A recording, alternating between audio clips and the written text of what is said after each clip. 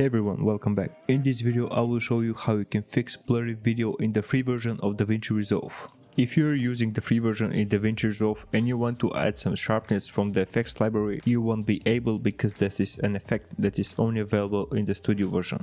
So you want to go to the color page, you can click on this icon which is the blurriness and in the radius values you can either increase or decrease it. If you pull it to the upper side it will blur the video and if you pull it down it will sharpen the whole video. I'm gonna use the values of approximately 0.40 and that is because I don't want to overdo the job and make it uglier. And if you want to sharpen just a part of the video, you can click on this icon and you can create a mask on the places which you want to specifically sharpen on the video.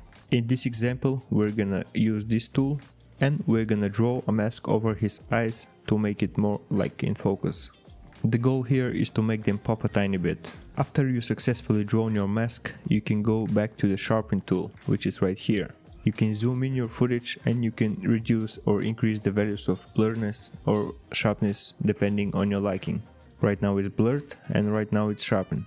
I'm gonna increase the amount of radius to about 0.41. I think that's looking natural. Also on the right side you can click on your node right here so you can disable and enable the effect so you can see the difference. Also if you're working with a footage that is not steady, that the camera is always moving, luckily in the DaVinci you can use the tracker. So you want to go in the beginning of your clip, you want to go in the tracker which is right here. Then make sure your timeline playhead is in the beginning. And then in the tracker panel you can press the play button which is located right here. And the DaVinci Resolve it will scan the footage all the way until the end and correcting the position of the mask that you're having on that specific node. I'm also having a bonus tip here so if you want to make your character pop even more right click on your node add node add node serial and that way not only that you can use the sharpness but also you can use the blurriness in your advantage. So while your second node is highlighted you can go on the window icon again and then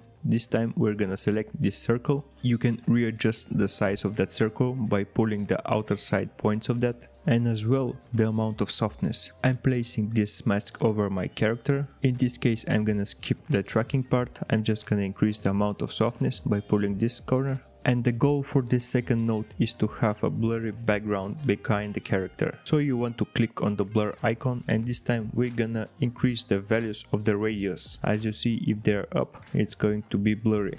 And for now I'm gonna leave it on values of 0.79. As you can see now it looks blurry inside the mask. But as soon as you click in here, which is the invert button, everything around that mask is gonna be blurry. Now you can click back on the blurry icon and then you can readjust the amount of blurriness you want to add. So I'm gonna reduce a tiny bit the blurriness because I don't want to be oversaturated.